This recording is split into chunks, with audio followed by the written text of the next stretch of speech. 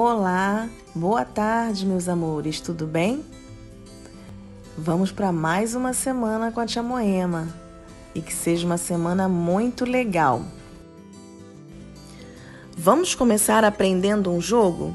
Isso, ele vai nos ajudar a desenvolver a concentração, a estratégia, a coordenação motora fina. Vamos precisar respeitar as regrinhas e também precisamos saber ganhar ou perder nesse jogo. Ele é o jogo da velha. O jogo da velha também é conhecido como jogo do galo e tic-tac-toy. Vamos aprender como se joga? Para esse jogo, precisaremos de dois jogadores que vão disputar entre si. É preciso também do tabuleiro precisa escolher entre um dos dois símbolos, o X ou o zero. E vence quem colocar três de seus símbolos em linha. Como ganhar o jogo? Ah, é preciso alinhar os símbolos na horizontal, na vertical ou na diagonal do tabuleiro. Quem fizer primeiro a linha com seu símbolo vence a partida. E se empatar, usa-se o termo deu velha.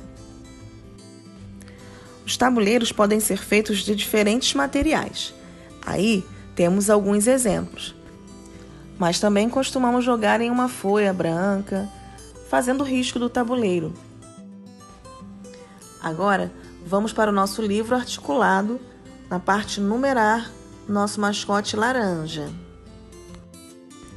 Vamos precisar do nosso material de apoio. Quem estiver com o livro é na página 95.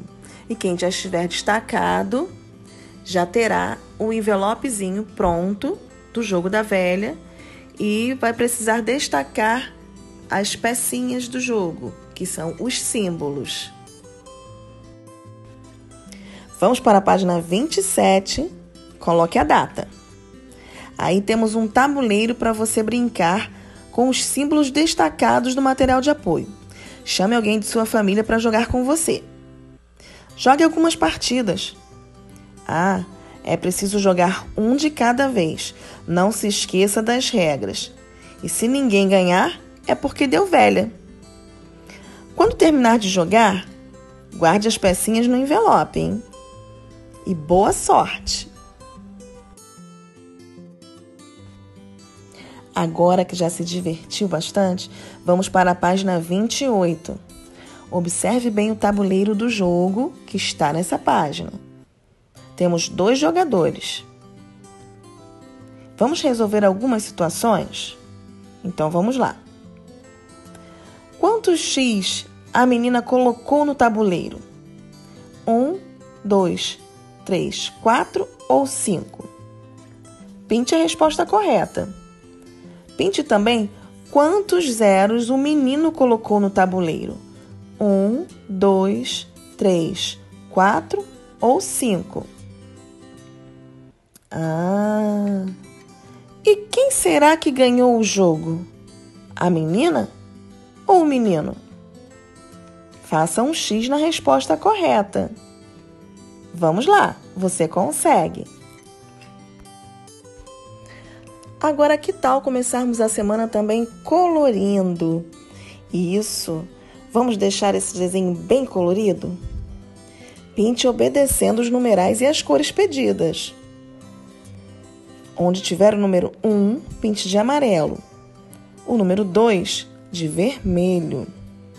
Onde tiver o número 3, pinte de azul o 4 de laranja e o 5 de rosa.